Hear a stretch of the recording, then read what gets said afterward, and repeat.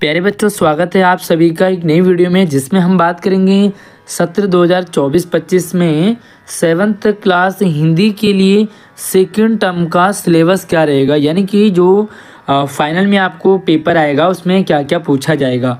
आइए शुरू करते हैं। उससे पहले वीडियो को लाइक करके अपने दोस्तों को भी शेयर कीजिएगा क्लास ग्रुप में। और चैनल पर अगर आप पहली बार आए हैं तो सब्सक्राइब ज़रूर कर लेना, ताकि आने वाली सारी वीडियोज़ अपडेट आपको लगातार मिलती रहेगी। तो सबसे पहले हम यहाँ पे बात करेंगे कि भाई फ़र्स्ट टर्म में आपने क्या क्या पढ़ लिया, ठीक है? तो फ़र्स्ट टर्म में अभी तक आपने पढ़ लिया होगा, पहला पार्ट हम पंछी उन्मुक्त गगन के। ये वाला पार्ट आपका फ़र्स्ट टर्म में हो चुका है। उसके बाद जो हमारे पास सेकंड जो पार्ट है वो है कठपुतली। एक कविता है और ये कठपुतली भी आपका फ़र्स्ट टर्म में हो चुका होगा। उसके बाद अगला जो चैप्टर है आपके पास मिठाई वाला। तो ये मिठाई वाला भी आपके पास फ़र्स्ट में यानी कि ये भी आपका कंप्लीट हो गया होगा। उसके बाद अगला चैप्टर हमारे पास, पापा खो गए। ठीक है, ये पापा खो गए वाला चैप्टर भी आपके पास मिड टर्म यानी कि फ़र्स्ट टर्म मिड टर्म तक आपका कंप्लीट हो चुका होगा और इससे रिलेटेड आपका एग्ज़ाम में आ चुका है। ठीक है, उसके बाद हम बात करेंगे यहाँ पर आपका जो फ़र्स्ट टर्म है, वो मिड टर्म यहाँ पे आपका सितंबर में हो चुका है, सितंबर, अक्टूबर में। अब हम बात करेंगे कि सेकेंड टर्म में क्या आएगा। तो सेकेंड टर्म में सबसे पहले हम जो आपके पास बसंत बुक है, उसके चैप्टर समझते हैं। उसके बाद हम बात करेंगे कि ग्रामर में आपके पास क्या क्या आएगा और आपको किस तरह से तैयारी करनी है। पास होने के लिए कितने नंबर आपको चाहिए, सब कुछ आपको इसी वीडियो की क्लियर हो जाएगा वीडियो में। तो जो पहला चैप्टर है वो दसवां, अपूर्व अनुभव। बहुत ही प्यारा ये मज़ेदार चैप्टर है अपूर्व अनुभव। ये आपके पास नोट कर लीजिए सेकेंड टर्म में आएगा। उसके बाद हम बात करेंगे अगला। तो अगला है आपके पास रहीम के दोहे।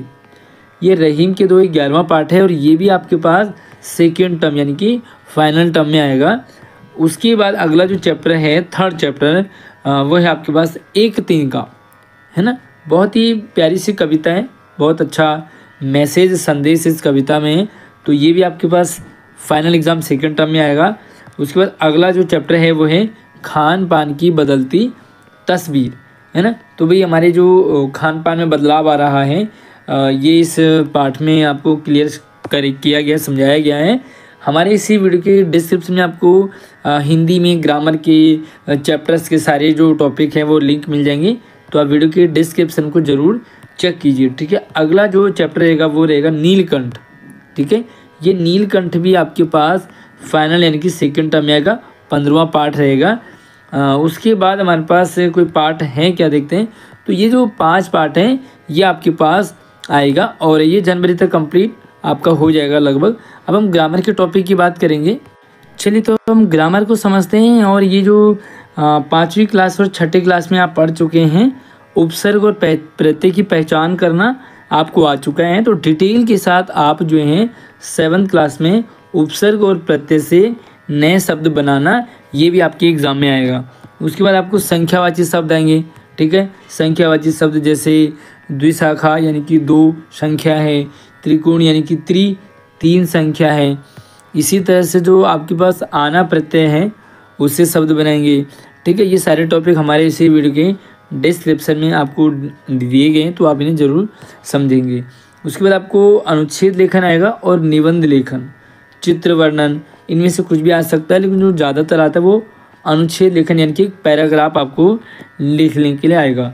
उसके बाद आपके पास रहता है तत्सम और तद्भाव शब्द। ठीक है, शब्द अलग अलग प्रकार के होते हैं तो ये आपके तत्सम शब्द पूछने के लिए आ जाता है, या तद्भाव इसको बदलने के लिए आ जाता है। ठीक है, उसके बाद हम बात करेंगे, कुछ आंचलिक शब्द हैं, जो ग्रामीण अंचल में बोले जाते हैं। ठीक है उसके बाद आपको अगला रहेगा अपठित गद्यांश और पद्यांश, पठित और अपठित। आपकी बसंत से भी रहेगा तो आपकी जो चैप्टर आपने नहीं पढ़ा, उससे भी आपको यहाँ पर क्वेश्चंस आ सकते हैं, आते हैं। अगला जो टॉपिक है, वो है देशज और आंचलिक शब्द। या अपनी छठी में भी थोड़ा बहुत इनका इंट्रोडक्शन आपने समझा होगा। जो सातवीं में आपके पास आएगा, वो तत्सम और तद्भव शब्दों की पहचान करेंगे और इनसे सेंटेंस बनाएँगे। ठीक है, आंचलिक भाषा का प्रयोग करेंगे और उनसे सेंटेंस बनाएँगे उसके बाद आपको रहेगा, अगला टॉपिक रहेगा आपके एक शब्द से अनेक शब्द को बनाना।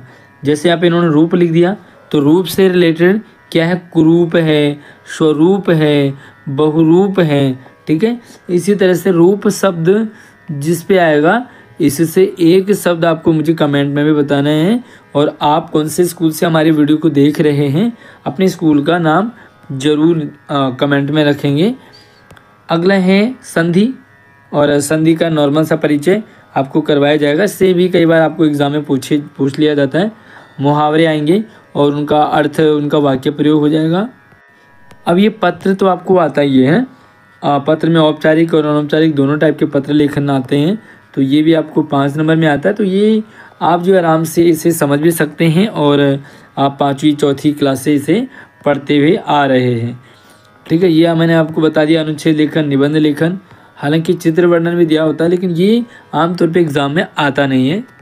अच्छा आपकी जानकारी के लिए आपके पास एक बुक होगी, बाल महाभारत। ठीक है, सातवीं क्लास में बाल महाभारत, जिसमें महाभारत का जो पूरा एक्सप्लेन किया है तो ये चैप्टर ये बुक भी आपको मिली होगी, लेकिन एग्ज़ाम में नहीं आता है। ठीक है इस एग्ज़ाम में नहीं पूछा जाता, लेकिन इसमें स्टोरीज़ और मोटिवेशन बहुत बड़ी बड़ी सीख हैं तो आप इसे ज़रूर देखेंगे। अच्छा ध्यान रखने वाली चीज़ क्या है कि वार्षिक परीक्षा में समस्त पाठ्यक्रम से प्रश्न पूछे जाएँगे, है ना? वार्षिक परीक्षा हेतु तो समस्त पाठ्यक्रम की पुनरावृत्ति करवाई जाए। मतलब क्या है कि जो आपने फ़र्स्ट टर्म यानी कि मिड टर्म में पढ़ा है, वो भी आएगा आपको एग्ज़ाम में। जो आपको सेकेंड टर्म फाइनल एग्ज़ाम में आपको आपने पढ़ा है, वो भी आएगा। ओवरऑल आपको पूरी किताब जो है बसंत की, वो यहाँ पर फाइनल एग्ज़ाम में पूछा जाता है। तो आप जो है सिर्फ़ मिड टर्म वाला ही ना मतलब मिड टर्म के बाद वाला ही चैप्टर ना देखें। जैसे मैं आपको बता देता हूँ एक बार। यहाँ पे आप देखेंगे कि जो अपूर्व अनुभव है, वो आपका फाइनल एग्ज़ाम में पहला चैप्टर है। ठीक है? अब आप सोच रहे हो कि इसके नीचे जो भी चैप्टर आए, मैं उनको पढ़ लूँ। ऐसा नहीं है, आपको एग्ज़ाम में इसके ऊपर वाला चैप्टर भी आएगा, यानी कि पापा खो गई। पापा खो गए से भी आपको क्वेश्चन आंसर आएँगे एग्ज़ाम में। उसके बाद मिठाई वाला जो चैप्टर है, उससे भी आपको प्रश्न पूछे जाएँगे। और जो हमारे पास कठपुतली चैप्टर है, उससे भी रिलेटेड क्वेश्चंस आपको आते हैं, आ सकते हैं। और इससे पहला वाला जो चैप्टर है वह हम पंछी उन्मुक्त गगन के।